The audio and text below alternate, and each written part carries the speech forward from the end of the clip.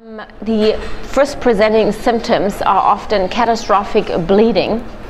It is mostly present in adult patients associated with malignancies such as lymphoma and therefore often encountered in the older population but also postpartum um, and very very rarely in children with autoimmune diseases.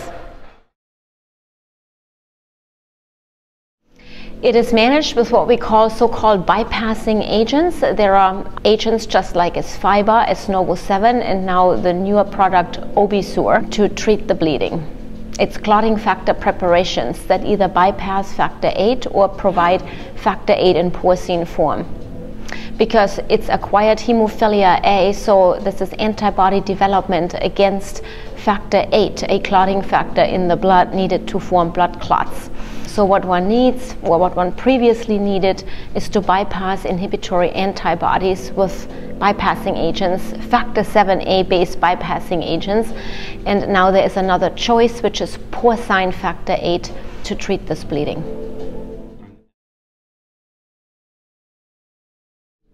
There are three approved drugs for this. One is a factor 7A based plasma derived concentrate, it's called FEIBA.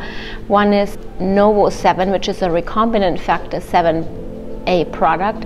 And now we have Obizur, which is an approved product. Um, it's porcine recombinant factor 8.